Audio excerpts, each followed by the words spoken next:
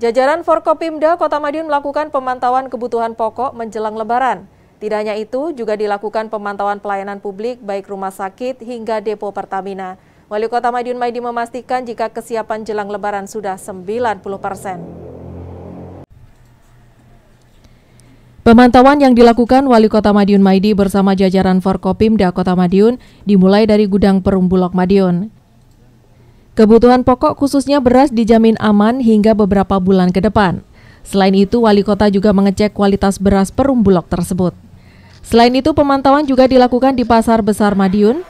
Kenaikan harga sejumlah kebutuhan pokok dinilai masih wajar. Selain itu, layanan kesehatan di RSUD Dr. Sudono juga dilakukan pemantauan dan siap 100%.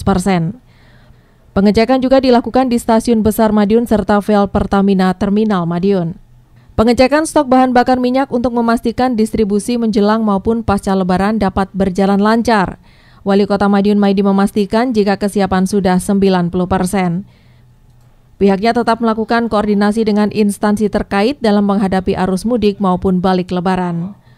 Ya, SDM pelayanan kita tambah. Jadi kalau biasanya sehariannya tiga, karena ini nanti yang mudik banyak, itu kita tambah. Sehingga kalau pasien banyak biar tidak capek.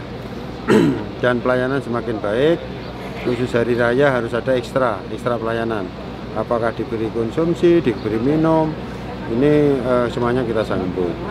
Dan pasar juga sudah siap semuanya. Artinya uh, untuk bahan makan harian dan untuk menyambut tamu siap.